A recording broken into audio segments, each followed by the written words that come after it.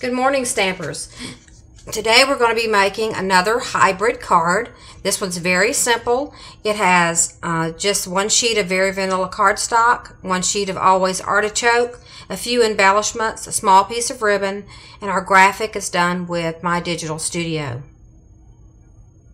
Now how I created this with my digital studio is I used the stamp brush set that's called Just Believe. I put it on my digital studio. I made I scaled it down so it'd be the size of the original stamp in case some of you would just rather stamp it if you don't have my digital studio. I did it in three shades of Always Artichoke, which if you were stamping it, you would just stamp off and stamp off so that it's lighter each time. I did three of the little sprigs using uh, the stamp from that stamp set, Just Believe, and I put a little another one right here just kind of down in the corner. Let's get started, and what I want to show you is how I created the My Digital Studio graphic. It's, as I said, it's just the three shades. I usually put a little border around mine so that I can trim it with my personal trimmer, and the measurements for that, excuse me, two by three and a quarter. So you'll just trim that out to make it match. So let's just put that aside and I'm ready to put my graphic together. I have a my graphic cut out, as I said, at two by three and a quarter. I have a piece of Always Artichoke cut at two and an eighth by three and three eighths. And I have a piece of Very Vanilla cut at two and a quarter by three and a half. And we're just going to layer those three pieces together. I also have a piece of designer series paper from this is the vintage springtime designer paper. It's the one with the little cherries on the back or blooms on the back and the stripes on one side. We're just going to use the side that's the stripes.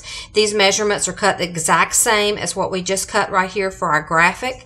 It's just going to be the designer paper on top of the Always Artichoke on top of the Very Vanilla. So we want to go ahead and make those three layers. Now, map. you can see I made very small borders with my matting this time. Usually I allow uh, an eighth of an inch all the way around.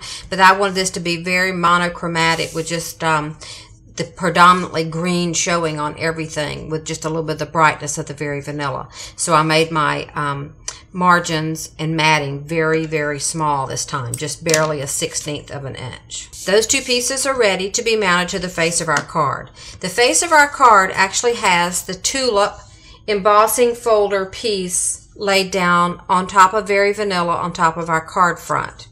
Uh, this is a landscape fold card.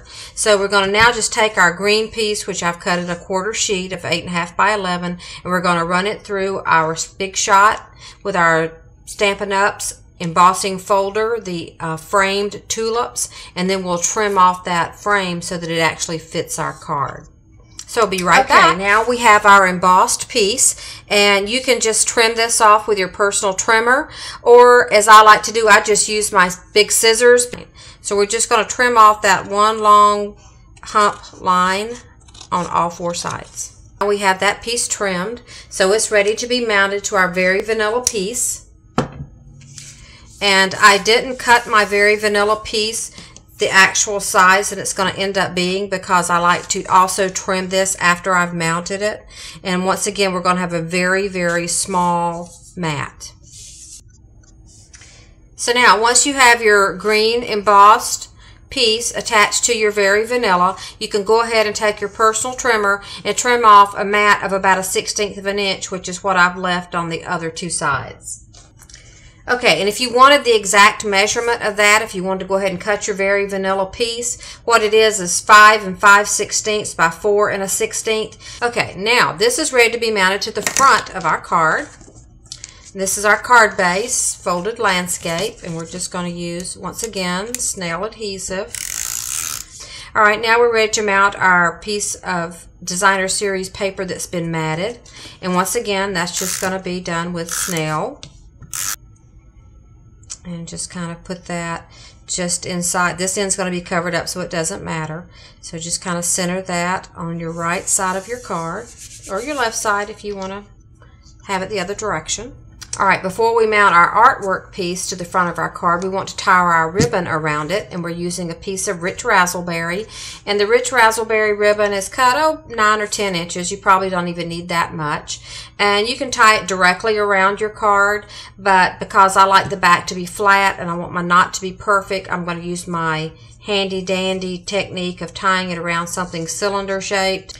Okay, now that we have our ribbon adhered the way we want it and taped down on the back, this is going to be mounted to the front with some dimensionals. It's just going to cover up this end and mount right to the front, just centered from top to bottom. And now we're ready to cut our little flowers and stick them on on top of our leaves. And we're just going to use a scrap of Rich Razzleberry cardstock. And we're going to use our mini punch that comes from the Mini Punch Trio. And I'm using the one that's shaped like a flower. These are really, really tiny. They coordinate with um, the clear buttons that um, Stampin' Up! sells. And I'm just going to punch out two of those. And punch them over something because they will jump up in the air and you'll lose them. Alright, and I'm just going to stick those on with just a little dot of glue or you can actually use a glue dot. And one randomly here. Okay, now I'm going to put a couple of little pearls in the center of each one of those. And once again, I'll just use my little tool. These are the Stampin' Up! pearls. They already have adhesive on them.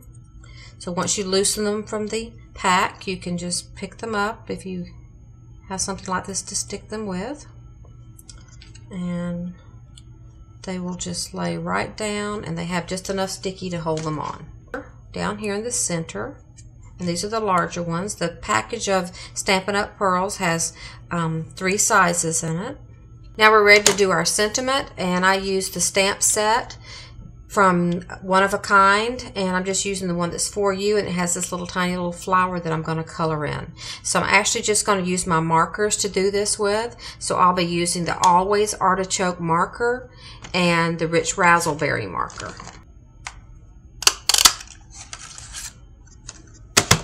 And the scallop oval for the backing. Let me mount it to the front with two dimensionals. And there's your simple hybrid card all finished. If you enjoyed today's tutorial, very simple and easy card, you should be able to make one in about 30 minutes.